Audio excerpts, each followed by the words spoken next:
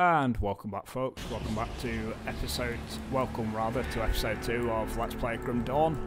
I'm Verm, and when last we left off we played a character who had been uh, infected with like an entity that's invading called the Ethereum I think they were called.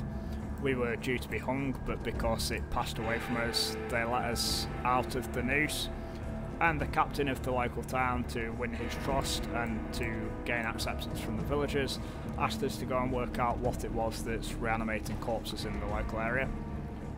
So we're going to do that. We got a few early levels and we're about to get another one now. And we're working towards an ability that would let us hit more than one enemy with our five more points with our um, double-handed weapon, which I feel will be great for doing a lot of damage. And we can wear those now, and they're a big upgrade. So we're going to work towards that first quest now. Um, yeah, there's not a lot to really say about what we're going to do each episode of this. It's going to be much the same smash a load of enemies into bloody pieces like that.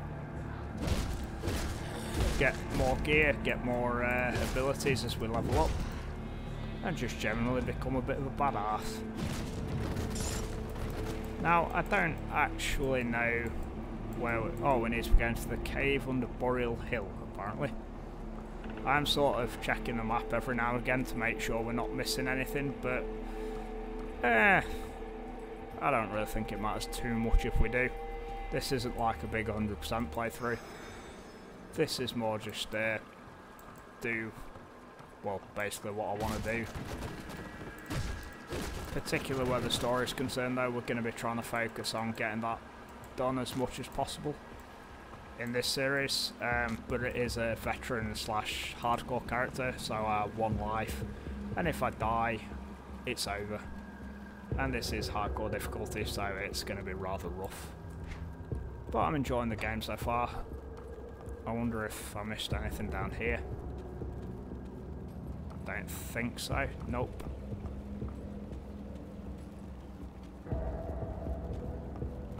It feels good to be playing something different though for a change, because as I mentioned previously, um, all I've really played recently has been like Tony Hawk's 1 and 2 remake, bits of Skate 3 through a PS3 emulator, um, and then like uh, lots of old school RuneScape. So just playing something a little bit different is nice. Hopefully this really does get me back into playing like proper gaming titles again. So we're looking for a cave on the Burial Hill.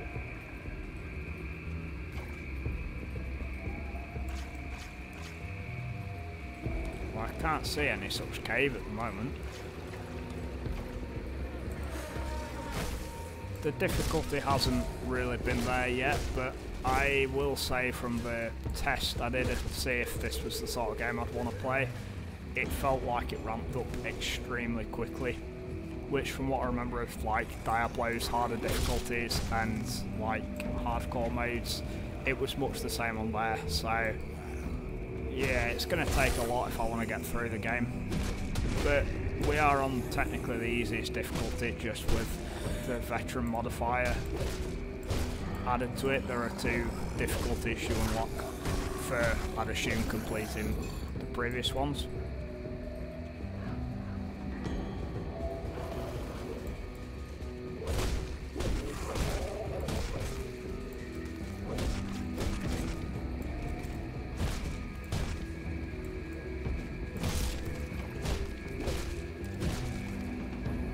Those poison effects look really good. I'm quite impressed with the presentation of this game actually. It really nails that classic like Diablo-esque style to it. But it does look suitably, I guess, high res for what it is. Oh god forbid it hardware. What is that? It's a level 4 Rift Scourge. So like the next level up from these. Uh, all the older Diablo games had like variants of the same enemy that would just get progressively stronger the further through the game you went, so this doesn't surprise me at all. It's like a chest around there? Ah, it's something.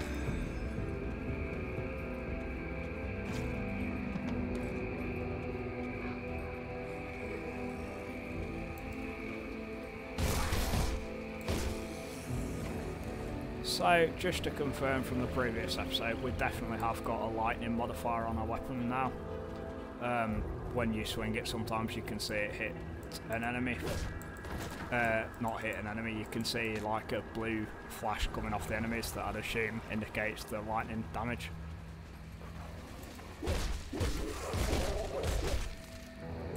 Which is good because I'm sure every little bit of DPS in this game is going to be essential.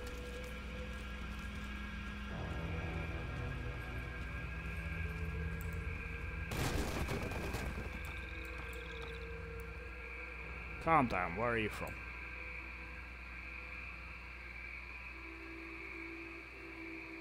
The way back should be clear now.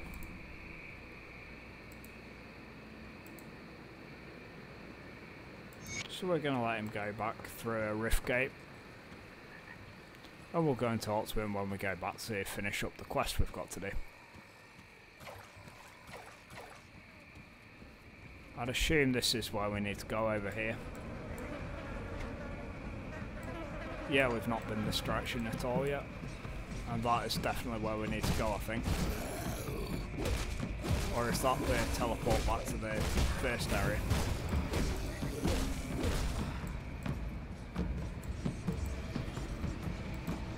Yeah, that's just the like blaze thing that'll teleport me back to the start. That's useful at least, we've got a shortcut back here now again another, I know I keep mentioning Diablo, but another staple of that series. That drum beat in the background is great. Just get that little damage over time buff going.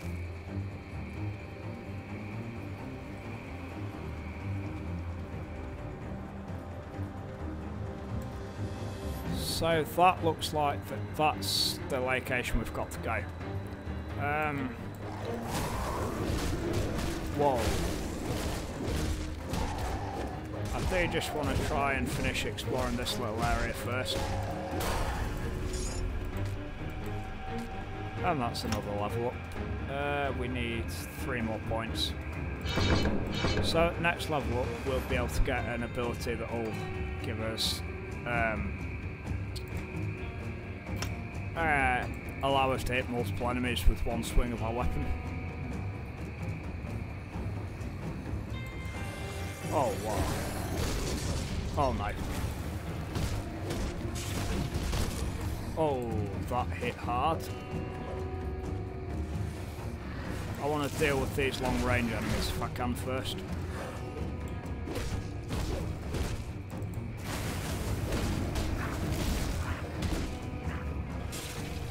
Just get that damage ticking away at them. And again, and again. Pick you off because you're a struggler. See that damage over time ability really does tick away after a while. This rotting soldier's a pain in the ass though, it's hitting kinda hard.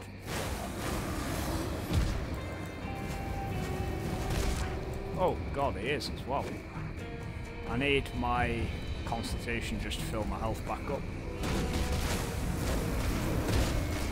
This is why we need the ability to hit multiple enemies at once, really.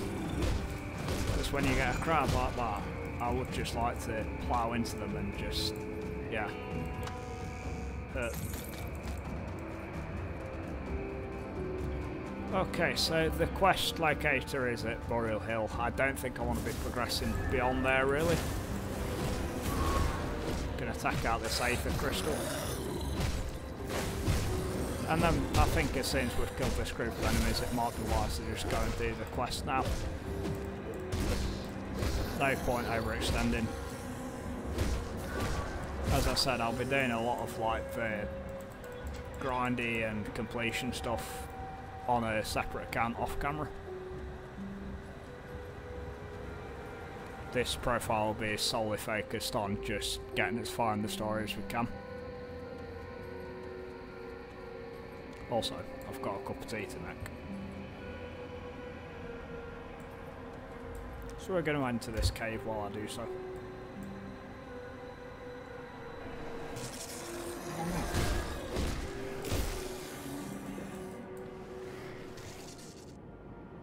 So that didn't go so well. Excuse me. Okay, let's go and do this properly. So, the second we've come through this door, we've just been mobbed. Thankfully we have got a couple of health items.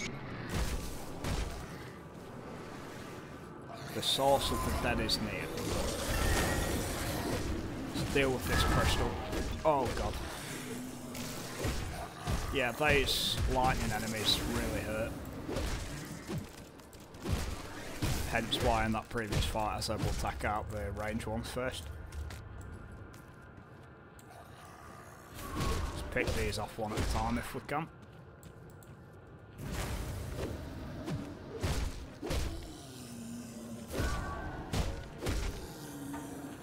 Okay, let's rush in and deal with the crystal before it summons all these.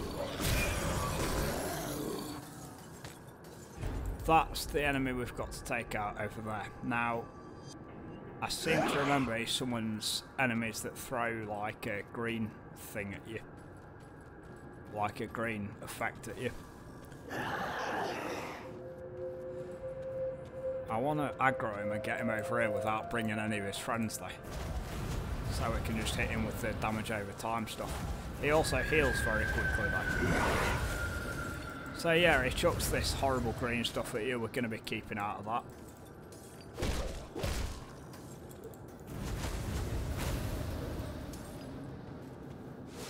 Go on, throw your shit at me again. Just get a few cheeky hits in and back away. Oh yeah, that's the thing that's going to back him up with that green shit. And as you can see from that, it does hurt. So, we're just going to take this one as slowly as we have to. And keep dealing with this green spawn every time we have to. As you can see though, he has such a health pool, this guy. He really does save a lot of damage. But it's alright, we'll deal with him. Although we're getting smacked up a bit there. Let's drink a healing drink. Hit him with that damage over time, deal with the spawn. And now go back to wailing on him.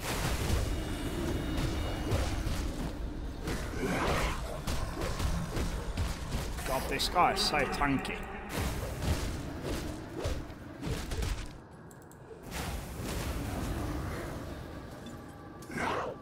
How many health drinks we got left? Just the one. Great.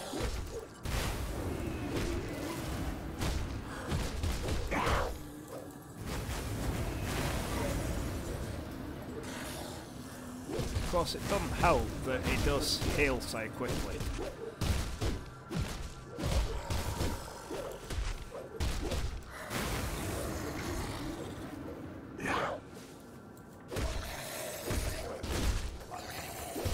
Do we get any XP for killing his spawns? I don't know if we do.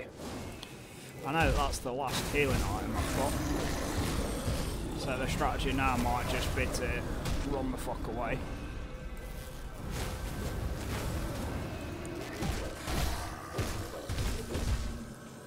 I don't think we do actually get any XP for doing killing his spawns off. This might have to be the strategy now. Just kite him around and throw this shit at him.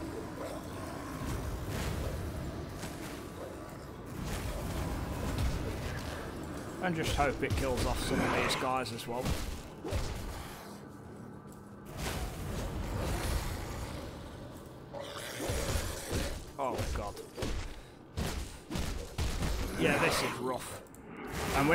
lore on a hardcore character as well, so we can't be taking unnecessary risks, really.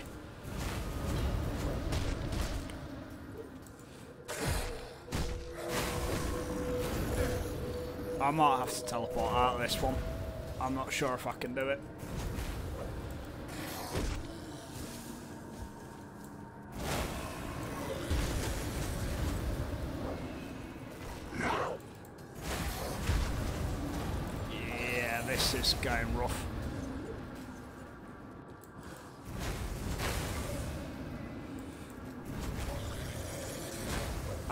This is the enemy that the quest needs me to kill though.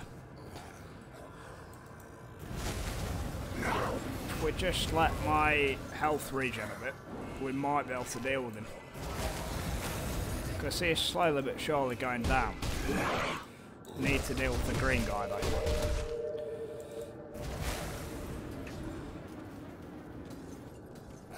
I might need to go and buy some more health potions, I think. As you can see, he is healing a bit at a time as well, which isn't good.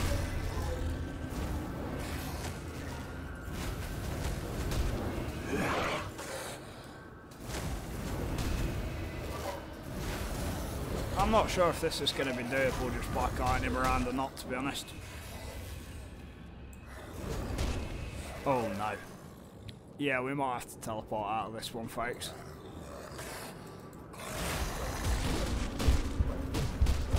Yeah, definitely. Uh, oh no.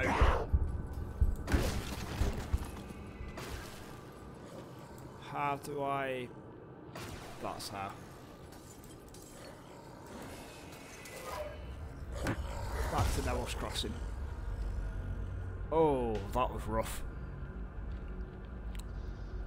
So we're going to need some uh, more health potions, I think, that's clear. Maybe another level as well. Let's go and find Faldis first.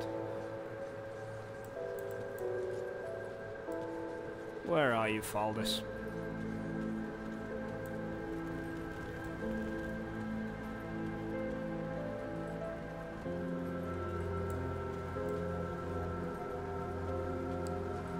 That's a very good question.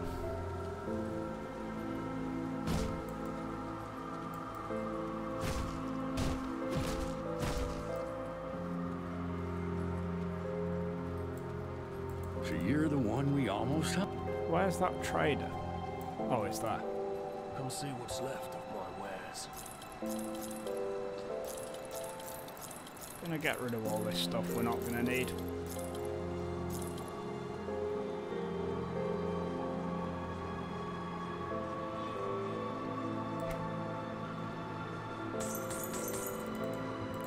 And we'll buy four of those. Okay, so where's this fella that we saved? I think he's inside actually. Oh god, I wish there was a way of just healing here, like, automatically. There probably is, I'm just too dumb to notice. Oh, we can teleport straight back into the cave. Oh, and he's still on his low health as well, that's good. Okay, let's lure all these over here. Grab the tunic.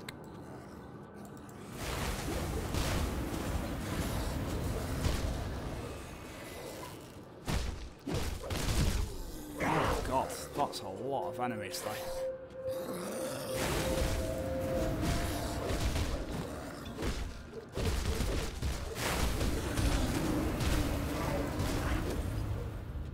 Jesus Christ. Let's run round now that we've got a window. Come on. It's nearly down, 300 health left. Should be alright to go down now. Tell you what, this guy's tanky as all hell. I'm probably been a bit liberal with health pots, but I am well aware that I'm on uh, hardcore difficulty. And that's him dead. We're going to finish off all the enemies in this cave, and then we're going to go back to uh, Devil's Crossing. See what we got for all that effort.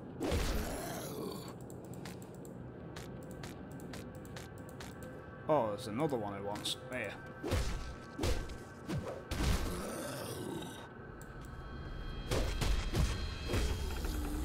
Okay, let's have a look what we got.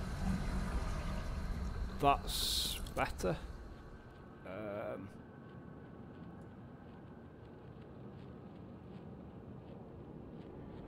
okay. Yeah, it doesn't look like we've got anything else worthwhile there, but we're going to finish exploring this cave before we go back to Devil's Crossing.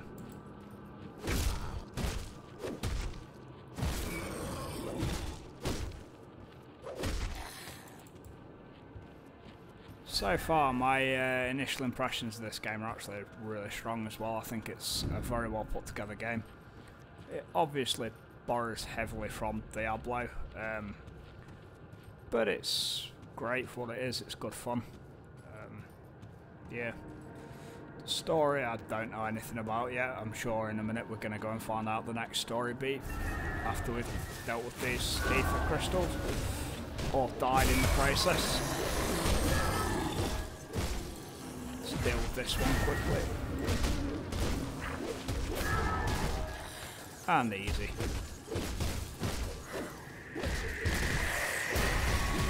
And we've got another level up so we can test that ability that I've been waiting to unlock, which is uh, this one. We're going to put three points into it. Might as well double down on it. Now, is it passive or is it... I believe it's a passive ability as well, folks. So let's try and get them rounded up.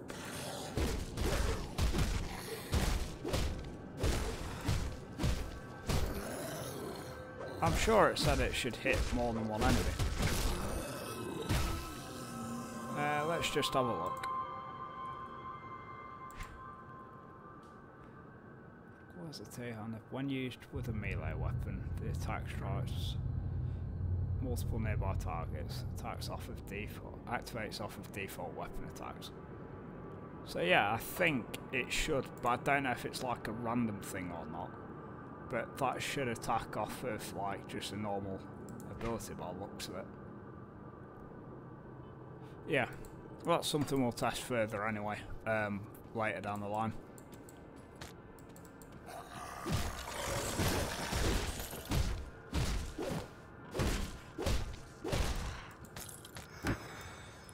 Oh, what's this?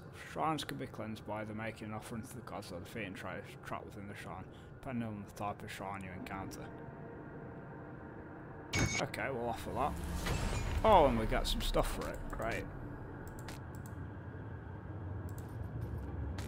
Okay, let's have a look what we got for doing that.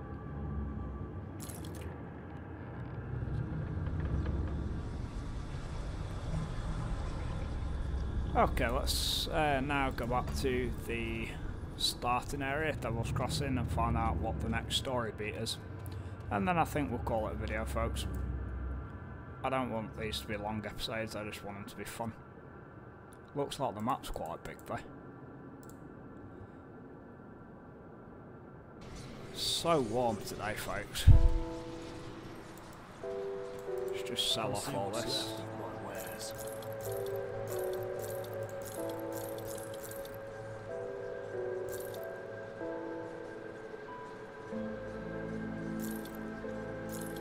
Oh, that's how you. Uh, yeah, we're gonna keep those. We'll read those before we speak to the captain.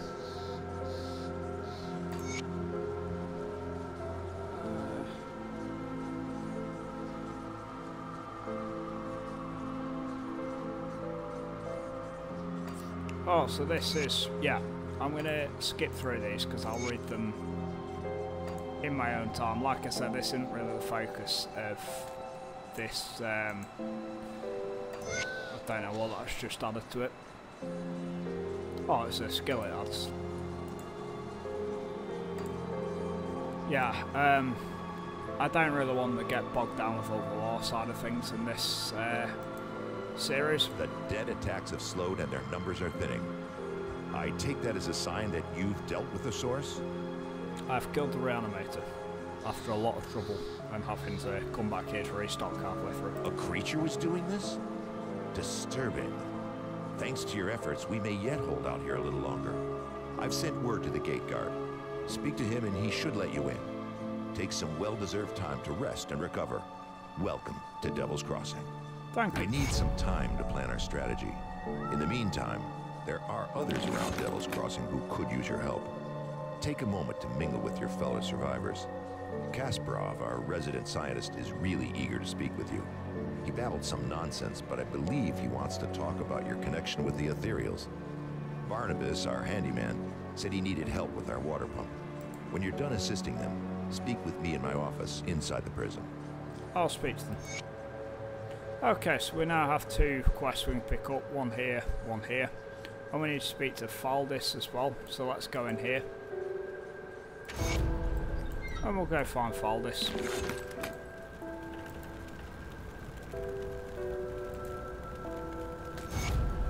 And he's given us just some random shit, really. There's plenty of people to talk to here, but we'll save that for the next episode, folks. Until then, oh, until then, thank you for watching, and if you enjoyed it, please drop me a like or something. Goodbye.